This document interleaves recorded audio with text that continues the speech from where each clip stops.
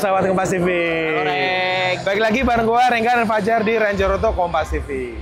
Nah, kali ini gua lagi eh, bersama mobil terbaru dari Jetour, bukan mobil terbaru sih ya. Ini band baru yang baru masuk ke Indonesia, yaitu Jetour Dashing.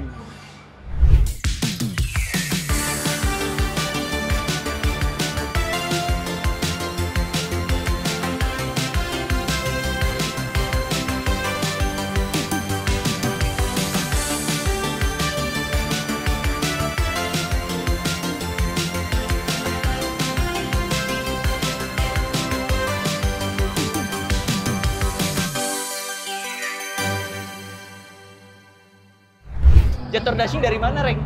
Nah, Jar. Jadi Kompas TV juga Jetour ini merupakan eh, brand baru dari China yang di mana dia baru masuk ke Indonesia tahun ini Kompas TV. Dan sebenarnya Jetour ini di Cina udah ada sejak tahun 2018 Sahabat Kompas TV. Jadi sebenarnya ini juga udah cukup lama ya kalau di Cina. Kalau di Indonesia baru masuk tahun ini. Gua suka dengan Jetour ini apa? Karena di era gemburan-gemburan EV dari Cina, Jetour masih mempertahankan mesin ICE-nya atau internal combustion engine-nya sahabat Kompas. Jadi dia membawa ke Indonesia mesin bensin ini gitu. Sebenarnya Jetour ini punya varian EV juga di Cina Jar, tapi belum dimasukin ke Indonesia. Dan rencananya tapi akan dimasukkan ke Indonesia gitu. Untuk informasi sahabat Kompas mesin bensin ini dia 1500 cc dengan kekuatan sekitar 156 HP dan juga 230 PS kayak gitu Kompas TV Pakai turbo gak? dia pakai turbo in charge. Jadi aman jar. Dia bisa jengat-jengat dikit. Sekarang kita lihat desainnya nih jar. Oke. Yang pertama kali gue lihat dari Jetour Dashing ini, gue mengingatkan ala-ala Mitsubishi X-Force itu jar. Yang pernah kita review itu jar. Tapi kata gua malah mirip urus. Berarti ini Lambo Lambo versi budget ya? Tapi bagus sih, karena di sini eh, modern banget. Ini kayaknya lampu sen ya, Jar ya. Terus habis itu di bawahnya ada lampu LED 2 stack kayak gitu, mantap sih. Dan yang gue suka juga grillnya ini eh, menandakan kalau dia masih menggunakan mesin bensin kayak gitu. Di era gempuran mesin-mesin listrik itu, Jar. Terus di sini ada kamera. Berarti eh, kita asumsikan sepertinya ini ada kayak adasnya ya, kayak gitu. Oke. Nah, sekarang ayo coba kita lihat sisi sampingnya Jar, kayak gimana Jar? Ayo.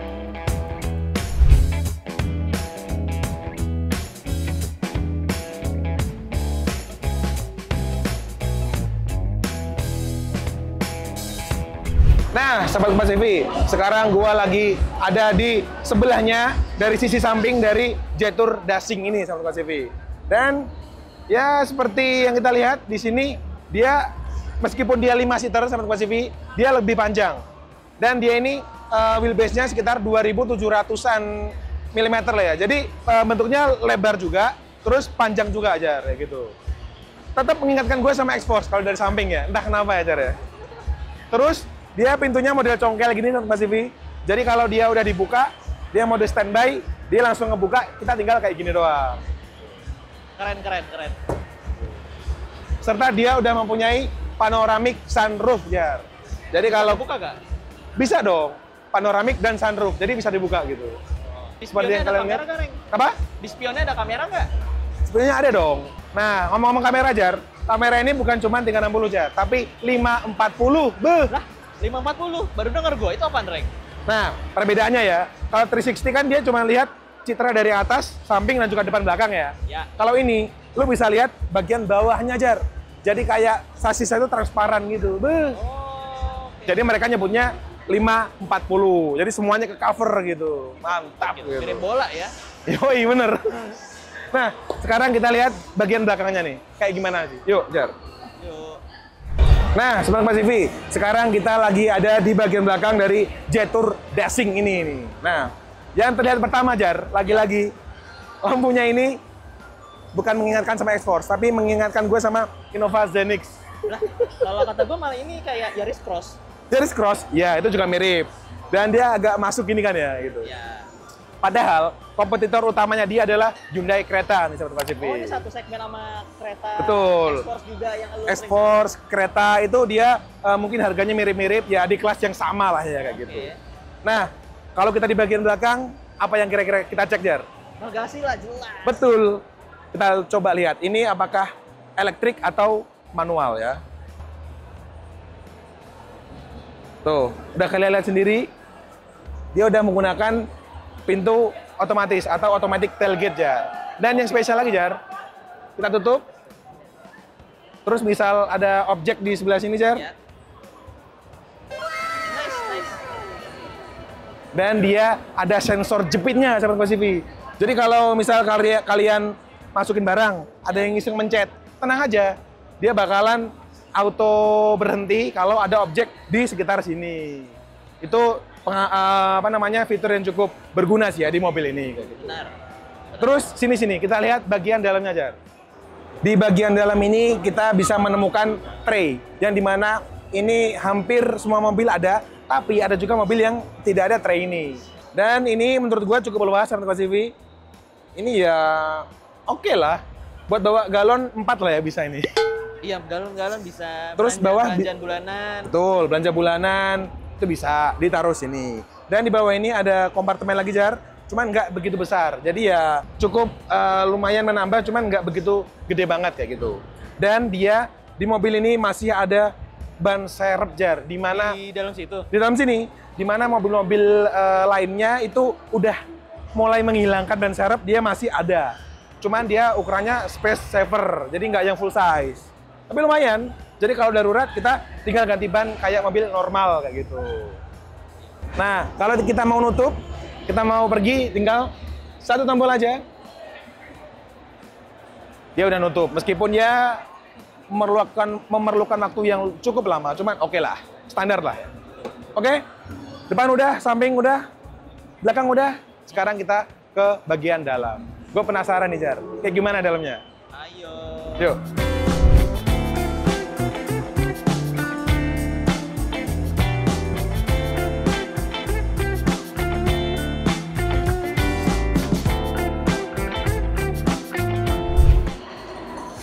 Nah, Sahabat TV, sekarang gue udah ada di dalam mobil Jetour Dashing ini nih. Jentur.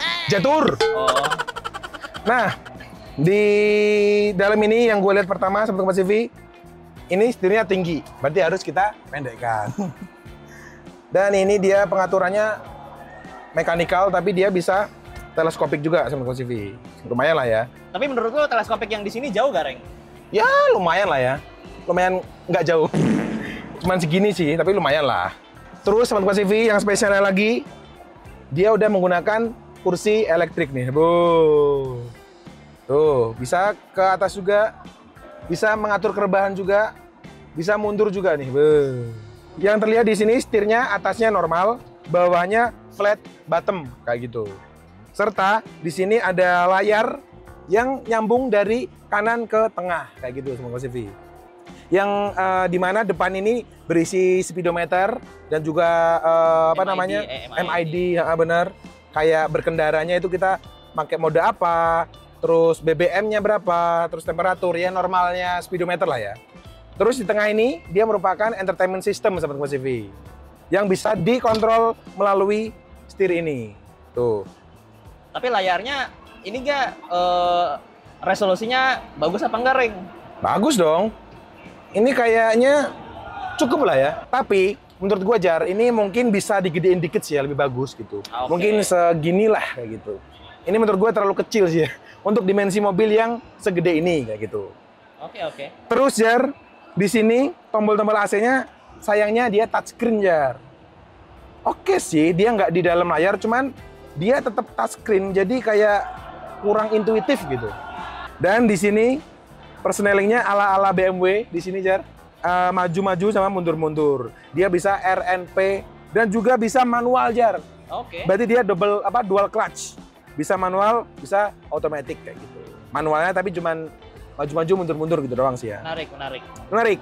Nah, di sini itu ada wireless charging juga Kompas TV. Serta di sini ada penyimpanan buat kuncinya.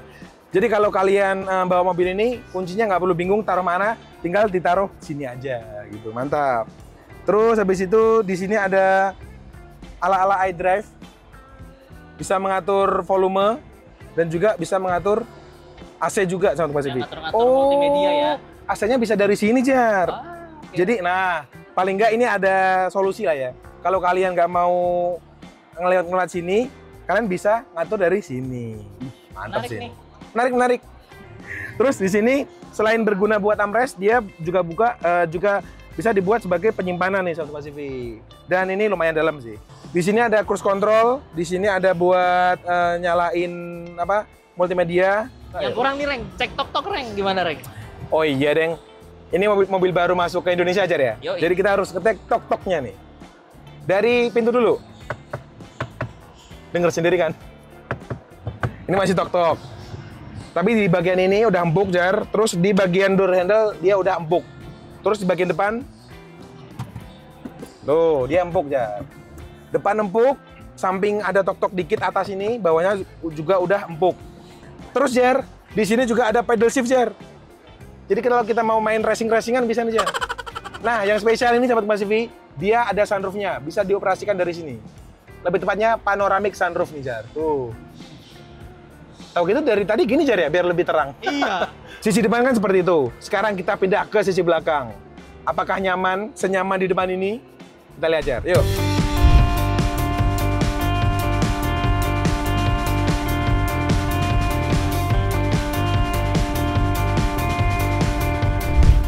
Nah, sekarang kita pindah ke sisi belakang dari Jetour ini, Sobat Pasifi. Yang gua rasain pertama ini legroomnya cukup besar. Terus habis itu headroom ya standar lah ya. Tapi yang bikin headroomnya ini lebih besar, dia ada panoramic sunroofnya nih Sobat Pasifi. Mantap nggak tuh? Nah, tadi itu eh, panoramiknya dia bisa dibuka sampai sini nih Sobat Pasifi. Tapi kalau sunroofnya dia cuma bisa dibuka setengah doang. Tapi lumayan Jar ya. Benar, benar, benar. Oke. Terus di depan nih, eh, di belakang ini sorry, dia ada lampu di bagian atas. Nggak di sini karena di sini ada sunroof. Kehalangan sunroof ya? Oh jelas. Tapi tenang aja, di belakang masih dapat lower AC di sebelah sini, Sobat TV. Ada AC, ada chargingan juga, chargeran juga. Jadi kalian nggak perlu rebutan dengan penumpang di bagian depan, gitu. Mantap. Terus di sini kalau kalian lewat jalan-jalan jelek bisa berpegangan kepada iman dan takwa. Guys, santren ah. Ya ini. Nah terus di tengah ini bisa buat lima orang, tapi kalau kalian cuma berempat bisa dibuka seperti ini dan dijadikan armrest. Beuh. Nah ini posisi jok lo yang di belakang ini eh, settingannya udah tegak begini atau bisa diatur lagi, Oh Reng? iya, bentar Jar, gue coba Jar ya. Dan ternyata ini fix Jar, nggak bisa diapa-apain.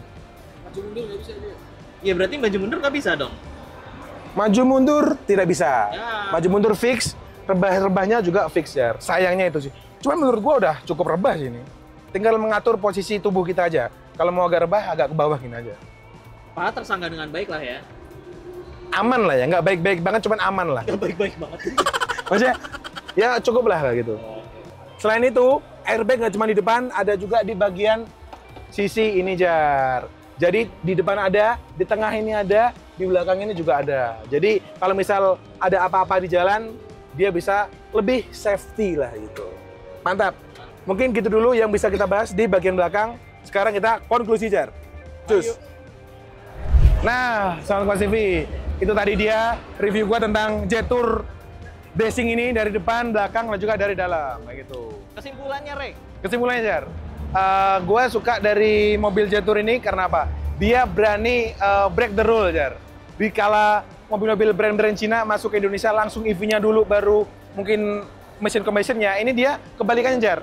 Mesin combustion dulu, baru besok next-nya mungkin akan dimasukkan mobil EV-nya, gitu. Jadi eh, beranilah mereka mengambil keputusan ini kayak gitu ya. Dan untuk mobil ini Jetour Dashing dia dibanderol dengan harga 390 juta rupiah untuk tipe Prime dan juga 430 juta rupiah untuk tipe signature-nya aja. Tipe tanda tangan. Tipe tanda tangan. Dan menurut gua di 430 untuk tipe tertinggi masih worth it sih ya. Apalagi dia udah dapat power tailgate jar. Terus eh, dapat apa namanya? Panoramik. panoramic sunroof, betul. Meskipun dia menurut gua layarnya yang bagian dalam kurang begitu besar sih ya. Ya. Ya mungkin bisa di-upgrade lagi untuk Jetour ke depannya kayak gitu. Tapi dapat airbag banyak. Airbagnya banyak, sistem keamanannya ba- baik. Terus ada kamera 540 itu Oh iya. yang dia yang dia tidak mau disebut 360 karena ada yang lebih kebuka lagi. Begitu dulu review gua dan juga Fajar sama Pak Sivi tentang Jetour Desing ini. Terserah kalian mau beli atau enggak gitu ya. Kan uang-uang kalian bukan uang saya. Kalau kalian lupa jangan lupa klik like, komen dan juga subscribe channel YouTube Kompas TV. Dan jangan lupa follow TikTok ranger.auto. Sampai jumpa di video-video Ranger Auto selanjutnya. Goodbye.